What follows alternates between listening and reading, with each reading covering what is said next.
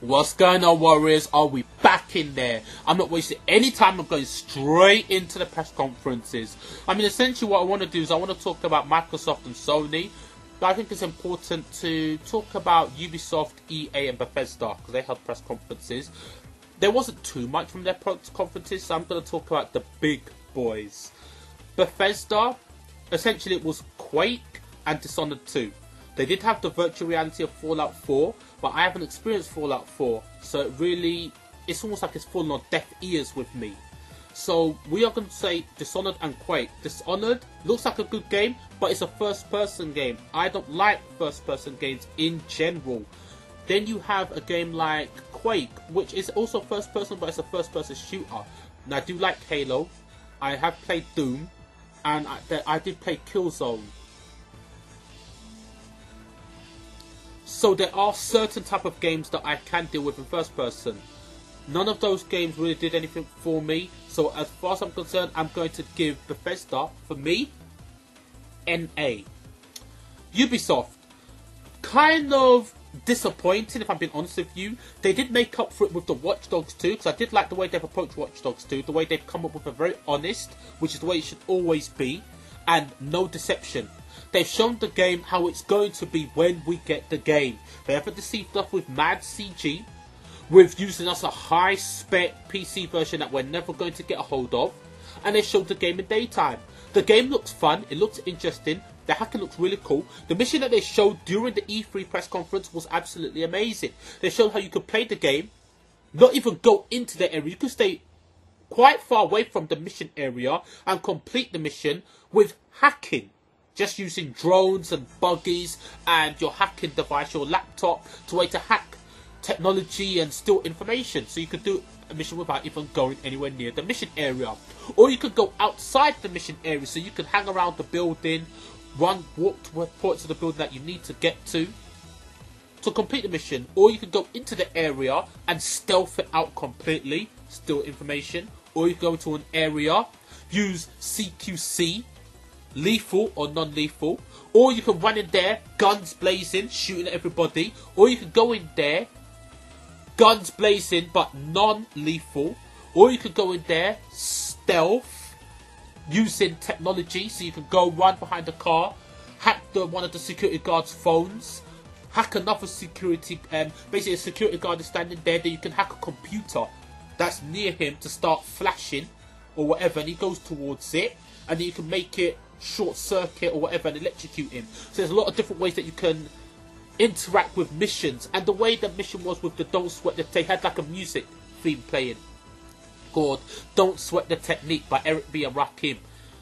Amazing, because that took me back to my childhood, man. And have that mission with that music and the way the, it looked cool. I'm hyped about mission. I'm about Watch Dogs 2, about DedSec. They actually sold me that game in the E3 press conference, and that's what I'm talking about. They actually sold me the game because I wasn't sold on the game. I really wasn't even that interested in it until the E3 demo. They sold me. That is amazing. That shows me good marketing and a good gameplay. So well done. I'm gonna get Watch Dogs 2 that was it for me. By to be honest with you, division really do do much for me because I know what the division is, and I don't like the way they're approaching the game with like the updates and nerfing stuff and buffing stuff and changing all these kind of aspects of the game. But that's a different story for a different matter.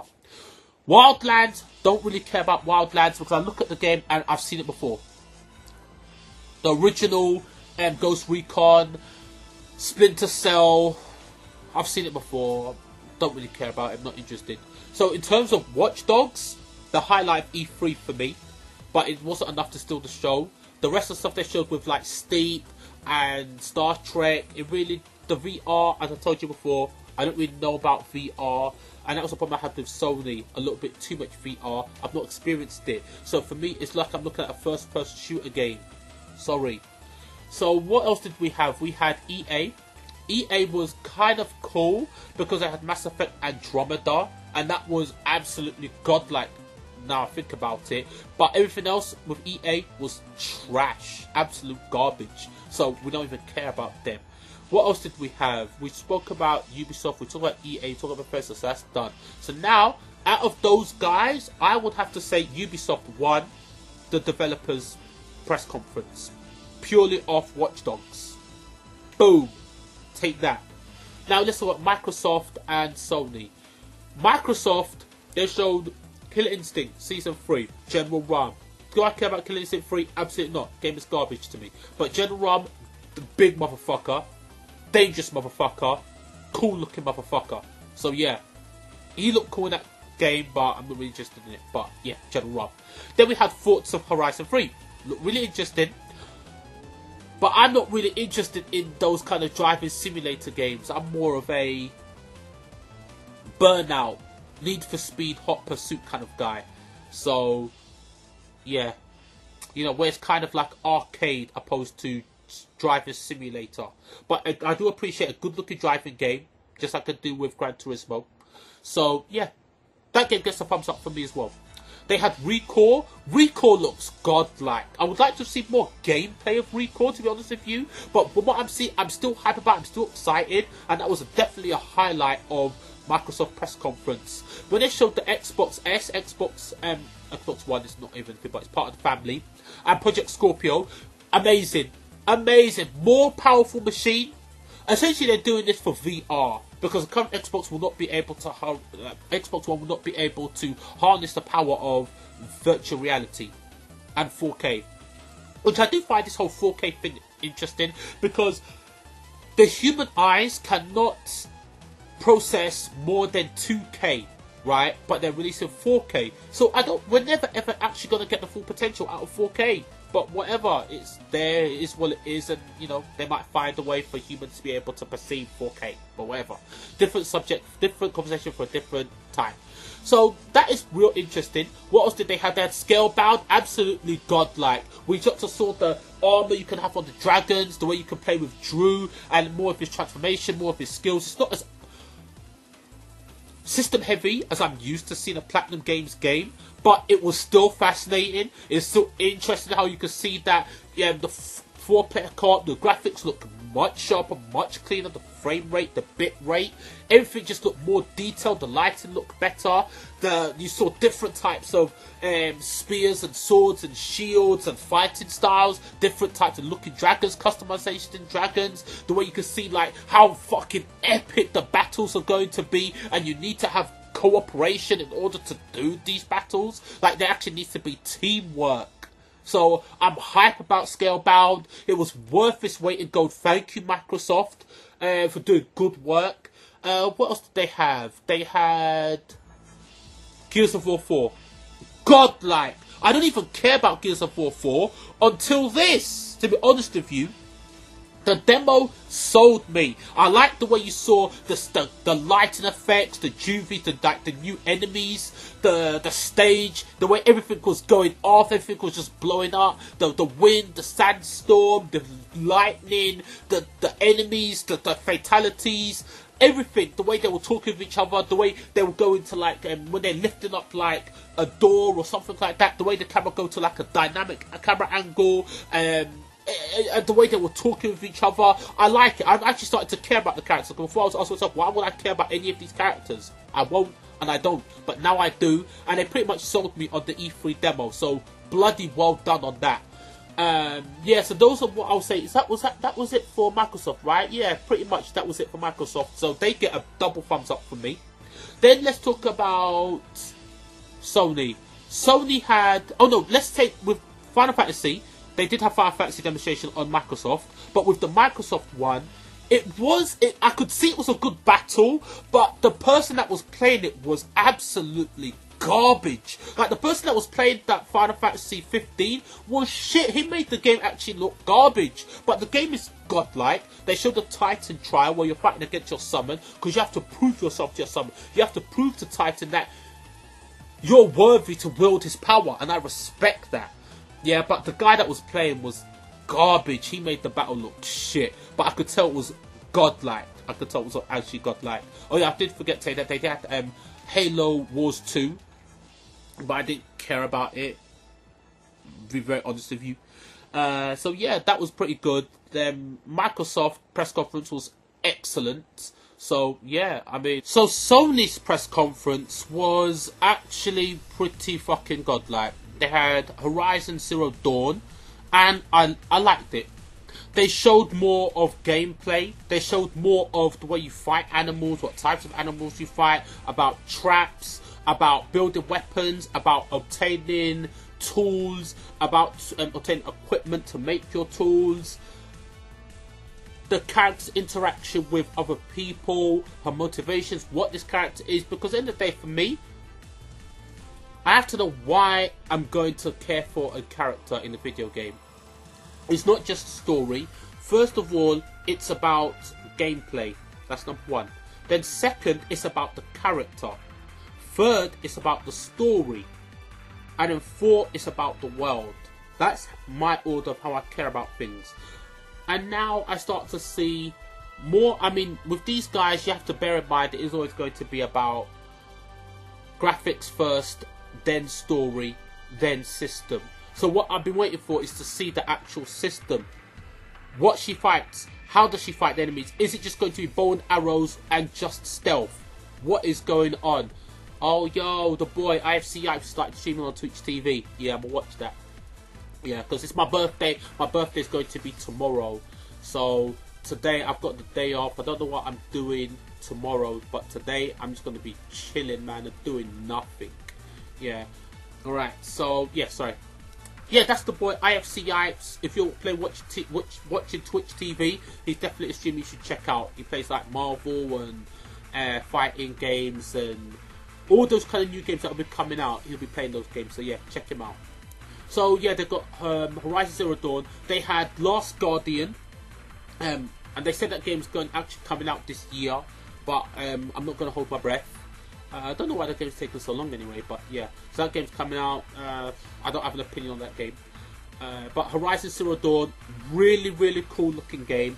Uh, finally, I don't know. I don't feel like that's a game I'm gonna get actually, but I do appreciate an okay, a good looking game. But I'm just not sold on it. I'm gonna be very honest. Um, they had Mafia. Um, what else? They have a game called Detroit. What was it? Detroit Become Human not interested.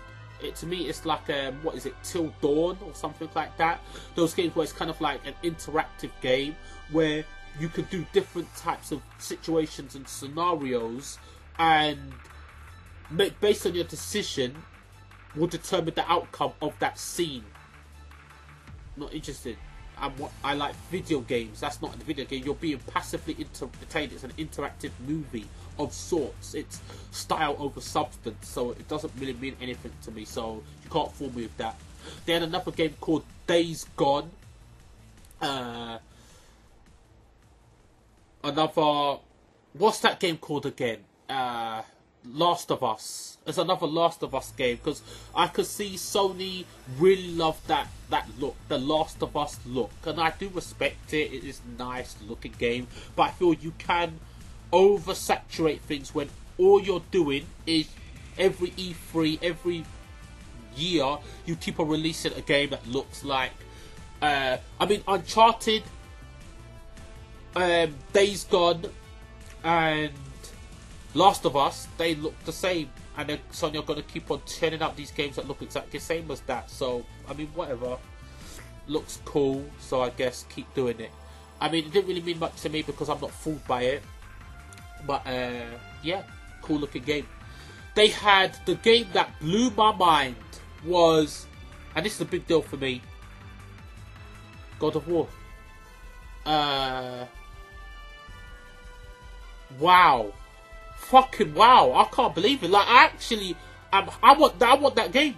I don't like God of War. I don't like God of War. It doesn't mean anything. Kratos doesn't mean anything to me.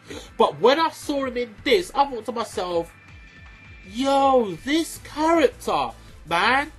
The bit where his son shot him with an arrow, and then the kid was saying, sorry, sorry, dad. Yeah, and then he was like, your deer is getting away. I was like, stop. God of War? Yo, pretty much. Sony almost stole the show with that game alone they almost stole the show with that game alone. So yeah, God of War, that demo where they're fighting the they're fighting that boss with his son there. He wasn't even worried that his son was in danger because that's my son. He's got the the blood of God running through his veins. If my boy can't survive this piece of shit, then that boy's not worthy to be alive, essentially. So yeah, like that was pretty godlike. I really loved that. So that was really good. The one thing I didn't like was there was too much VR with Batman VR, Resident Evil 7 VR. It was too much VR. It was way too much. I don't have VR. I don't have 4K, man. So those things are useless to me. They don't mean anything to me. You're not showing me any video games. I mean, it's the future, right? So I respect it. But there's nothing for me to play that is 4K. There's nothing, there's no movies for me to play on the 4K TV, so I'm not investing in 4K. There's no VR, so virtual reality doesn't mean anything to me right now. So for me, I can't really judge any of these games in 4K, in um, 4K, whatever, and virtual reality because I don't have any of those. As far as I'm concerned, it's like I'm looking at 1080p and a first person game, and that doesn't do anything for me. Resident Evil 7, I was, I mean, I played the Resident Evil 7 demo. It is actually unsettling. I actually played it at night time. I played it on 3D because the best thing I can do is 3D. My TV's 3D, and it was actually pretty amazing. I'll be honest with you. At first, hearing about first-person Resident Evil, and it is first person only. Not hype. Not hype at all. Not happy.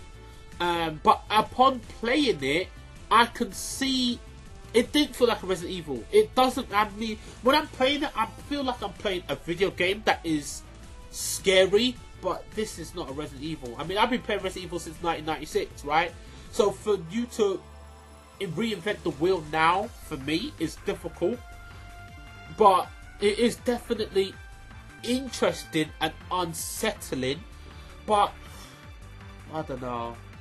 I really don't know. I'm just used to my zombies. I'm used to having a gun.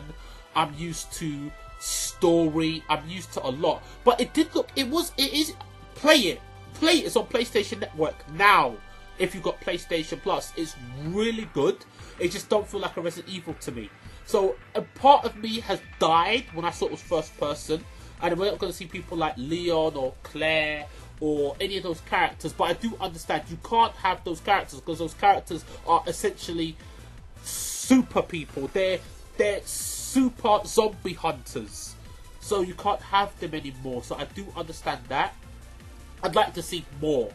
It is definitely fascinating definitely interesting and intriguing because the whole time I was playing that game, I was gripped. I was unsettled, unnerved, not scared, but just unnerved and felt very uncomfortable. But it was a good uncomfortable because I felt involved. Only imagine what it's like in virtual reality. It's just the fact that this I have to deal with the fact that this is my reality of Resident Evil, and it is a tough bitter pill to swallow that this is going to be my Resident Evil 7 going forward. First person. I'd love it if they did an over the shoulder option, but I can see if they did it over the shoulder, it would lose its intense feeling. Uh, so what else they have? They had the Batman, virtu- Batman virtual reality, which look sounds shit. Um, but there was a Spider-Man game by Insomniac Games. They are the only people that could do, do um, a Spider-Man game. Sorry, my voice sounds a bit. I got a cold. Um, the Spider-Man game looked tremendous. It looked tremendous. I was like, "Are you kidding me? Are you fucking shitting me?" So yeah, I'm hyped about the Spider-Man game. Um, Resident Evil 7, surprised, uh, interested. Part of me is disappointed, but I explained why. Uh, the God of War, amazing. What else did they have? And that was pretty much it. They did have a Final Fantasy uh, 15 uh, remix trailer, which was pretty cool as well. But uh, yeah, so that was it. So what I would say, on the whole, essentially is it's difficult to say who won. I would say Microsoft won. I'd say Microsoft won. I mean, it's tough. I mean, for Sony, I would say the Spider-Man and the God of War. But I'd have to go Microsoft because of the Project Scorpio, because of the Gears of War, because of Scalebound, because of ReCore, because they just got me. Okay, Warriors, I want to hear what you think about E3. Comment section, your turn. See you soon, Warriors. One last thing that I think is real important is Hideo Kojima's game, Death Stranded. It meant nothing to me. It just showed that he's making a game with Norman Reedus. It didn't do anything for me. I just thought I would say that real quickly. I didn't want to mention it, but I thought I might as well because it's part of E3. So yeah, Hideo Kojima game, nothing. Alright, Warriors. Till my next video, stay blessed and have fun. See you in the comment section.